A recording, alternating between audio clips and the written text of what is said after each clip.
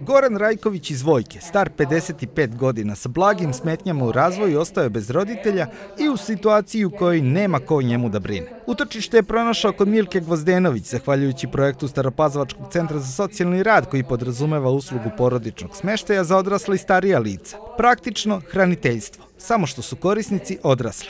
S obzirom da sam radila u zdravstvenoj instituciji 20 godina, njegovala svoje kući bolesne, ovaj, imam taj neki feeling za, za pomaganje, za njegu, za brigu, znam da pružim emociju, da dam emociju, znam kad to treba, onda sam donela odluku i, i došla sam u centar, obavila sam neke razgovore, obavila sam neka, neka testiranja, bila sam podobna za tako nešto, krenula sam u to. Ja sam stariji od nje 6-7 godina, a toliko se zavolio, više nego sveto pismo, iskreno. Centar za socijalni rad opštine Stara Pazova već drugu godinu za redom sprovodi projekat Živimo pod istim krovom, koji je podržan od strane Pokrajinskog sekretarijata za socijalnu politiku, demografiju i ravnopravnost polova. Podrazumeva i namenjen je zbrinjavanju odraslih, starijih lica, lica sa smetnjama u razvoju i invaliditetom osim kvaliteta koji želimo kod korisnika i pružavaca usluga da poboljšamo, Ako naša lokalna zajednica prepozna potrebu naših građana da treba da postoje jedan dnevni boravak upravo za ovu kategoriju lica,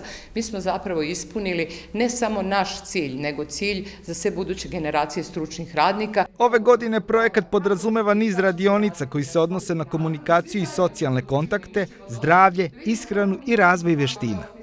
Radionice pripremaju stručni saradnici Centra za socijalni rad, kao i nekoliko stručnjaka za posebne oblasti koji će u svojstvu saradnika uzeti učešće u projektu taj socijalni kontakt je najvažniji, zato što su to uglavnom korisnici koji su bili izopšteni iz socijalnog okruženja.